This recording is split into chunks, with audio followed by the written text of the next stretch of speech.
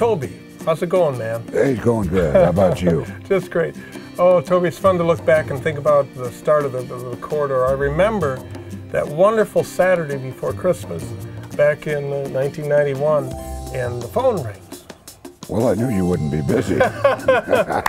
anyway, uh, I, I, my guess is it was probably around 10 in the morning, the Saturday before Christmas, and I pick up the phone and it's Toby, and Toby says, Herman, need you at a meeting in Spencer. Make it? I said, you bet, I'll be there. Well, it was a way that uh, we had to figure out how to get the McCoys and the Clampetts to quit feuding. You know, Dickinson and Clay County were continually competing wow. against each other, and nobody knew the reason why. Even though we haven't combined in a formal way, we know that what's good in Clay County is good in Dickinson County. We knew that if we could promote the area together, we'd be better off than trying to compete against each other. Would the counties or would the, would the cities understand what we were trying to do? Would they, would cooperation uh, trump competition? Uh, was that a, even an idea that people would, would accept, let alone donate some money to? And we were kind of at that point where we need to decide, is this organization going to continue to live or was it a good experiment that didn't work? So many people not only accepted the challenge to step up and to help create a cooperative effort within the area, but put their hearts as well as their pocketbooks behind the effort. We felt it was important to meet in a middle location so that people didn't feel that one north side or south side of the corridor was trying to take an advantage, so we chose Milford. And there was a small group of um, people from the Industries Foundation and people from the Dickinson County Industrial Board um, that were meeting, and we met weekly, 7 o'clock in the morning, and we really discussed you know, what, what could the future look like? What should this organization look like? Who should we include? How should we operate? How should we be funded? And those were the basis for the discussions of our early morning meetings. And so it really set the foundation for the future of the corridor as you currently see it. I remember when the four lane between Spencer and Milford was completed. And to talk about finally everybody working together, we had a good meeting about where are we going to cut the rip? Cut it at the county line. Cut it, cut it in Fostoria, man. Just like the, the Promontory Point, Utah, driving the Golden Spike. And I love Bruce Tamasia's famous story about Fostoria. What do you mean? I had mentioned that this was like the demilitarized zone uh, because it was kind of the safe area. And from that moment on, Herman always referred to our meetings as the DMZ meetings. And Bruce says, hey guys, I grew up the lakes between lake, and he says, I remember when that county line was the DMZ. and the reason that's probably somewhat humorous now is uh, the simple thing that we really needed to accomplish between us all was develop trust. You know, really that first four years of the, the pilot project where um, they had the members coming together really set the foundation for future years because it helped develop that trust and build relationships. And that led to, you know, open discussion and sharing of opinions and really starting to create a vision for the future. Even though we may have known each other socially, uh, we'd never really worked together on projects throughout the corridor region. And it took us about 18 months as a formal board to develop a trust inside our room. And then we knew we were going to face a more daunting challenge going outside and engaging other uh, city councils and government officials and private parties to help us achieve our goals. To help kind of form future relationships, we had an office location in Spencer and an office location in the Lakes area. So we had a person present in each so that people really were feeling like attention was being paid in both counties. We set out uh, first to describe what we were interested in doing, that is creating a video and the initial marketing efforts for the uh, newly formed corridor. Wouldn't it be great to make a good living? Wouldn't it be great to live a little too? I'm here because it's a very pleasant place to live. It's a very pleasant place to work. A very pleasant place to own a business. You know, life is great here. Wouldn't it be great to live out a dream? Just look at your life, you can't live it again. In northwest Iowa, there's a highway that rolls north out of Clay County into Dickinson County. It's a ribbon that ties together 35,000 residents of our many communities.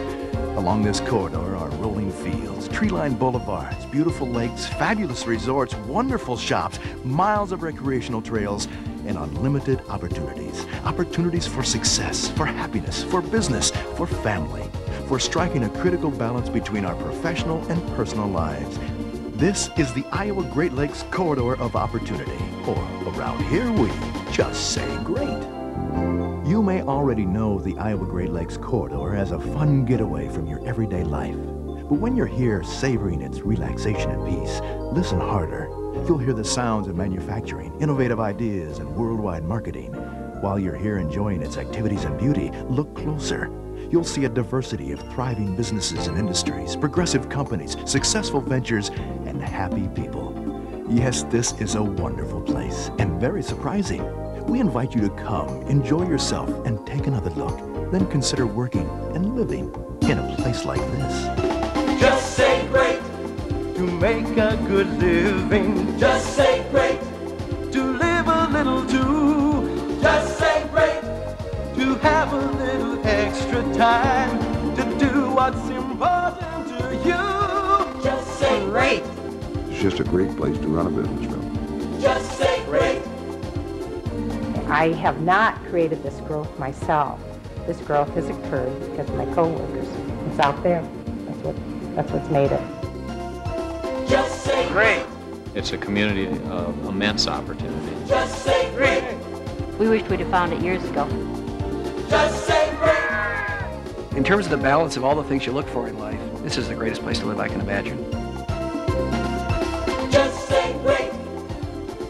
Work play for family. A Great Lakes opportunity. The Iowa Great Lakes Corridor of Opportunity. Just say great. In so many communities, the economic development work is done in a small community. With the Lakes Corridor, what we've been able to do is to take four counties, take all the resources of those four counties, and share them as, as one. I think inclusion of the corridor in the name gave us a better title for what we were really trying to achieve. Um, back at that time, common sense told us that the state would have to have counties join together in some type of an effort. And we thought it was better serving our needs and our future uh, success by picking our partners rather than being placed with a partner. 99 counties in the state of Iowa. You want to pick your partner? Or do you want to have your partner pick? you have it assigned. And so the corridor represented a concept of joining with other people, but not limiting us to who it might all include. And as you've seen now, uh, in the beginning, we started with just two counties until we got the processes under control and knew how to work together. And then and only then did we expand it out to today's current four counties. The state of Iowa, uh, especially the Department of Economic Development, took some special interest in what we were doing. They knew about the Golden Circle in Des Moines, but they didn't know so much about how regional efforts like ours uh, would work out. One of the exciting things, I think, um, at least for me as, as a volunteer, that happened as a result of, of the meetings and forming the new structures, we put the funding structure in place and we were able to hire an executive director. I called Rand Fisher and talked about the fact that the corridor was in this. We needed leadership, we needed somebody that knew economic development, and he suggested that we talk to Kathy Everett, who was in the Quad Cities at the time. All of us are very, very passionate about this region and want this region to do well over the long term. Yes, half of the staff has lived here their whole life or been here for a number of years, and others of us have chosen uh, to move here and to live here uh, just because of the passion that we have uh, for this part of, of, Iowa and the Midwest. So uh, we're all deeply rooted and deeply committed to helping the Iowa Lakes Corridor region be the best that it can be. It's fun to be on the outside looking in. Wish I'd have been there on the inside with Kathy. Uh, I was leaving as she was coming in, but she's made a big difference in her efforts to keep a region focused on not little individual successes, but the overall success in the region. I think it continues to build buy-in throughout the uh, corridor region today. We have four major initiatives, and two of them are really built around this population a challenge. One is how do we attract and retain people and workers in the region? How do we help retrain and make sure we have a, an available and trained workforce for the employers today as well as the employers tomorrow? It's absolutely incredible the work ethic in the state of Iowa and the ability to run a company that the people work so hard, they help, they help build greatness. It's, it's just a wonderful environment. The other two goals are to continue to build on our entrepreneurship activities that have really gained so much momentum and support in the last six or seven years and grow our own companies from within. The Iowa Corridor has done so much to stimulate business, not only to help existing businesses, but to help create new ones. And maybe the greatest accomplishment there has been the founding of the Okoboji Entrepreneurial Institute, which brings together the universities, Buena Vista, uh, the community colleges, the best students and the brightest students throughout Iowa to Okoboji for a week every summer. And then our continued business development efforts with the existing industries and, and then continuing to market the area to prospective industries. When I left the board, the, the organization was going strong, so that was a really good feeling to be a part of something that grew and, and uh, was respected throughout the, the state of Iowa and really throughout the country. And the board, the leadership, if they hadn't done what they did 15 years ago or seven years ago, the organization wouldn't be here today. So key business leadership made all the difference. Still does today. When you look at the richness of lifestyle in our area, it's the lakes, it's the multiple communities, it's the people that live here year round, it's the people that come spend their summers here. And together, it's a very rich culture, uh, maybe unheard of anywhere else in Iowa. So without the Lakes Corridor, we wouldn't have melded all of our communities together as one and really leveraged the richness of what makes this place so great.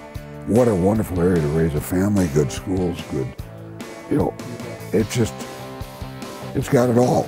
There has been 20 great years of leadership uh, from the business community and the public sector in this region that without there would not be an Iowa Lakes Corridor Development Corporation today. So big kudos to all the business and community leaders who helped start the corridor, who have helped uh, sustain the corridor, and who helped funding and, and moving the corridor for the next 20 years.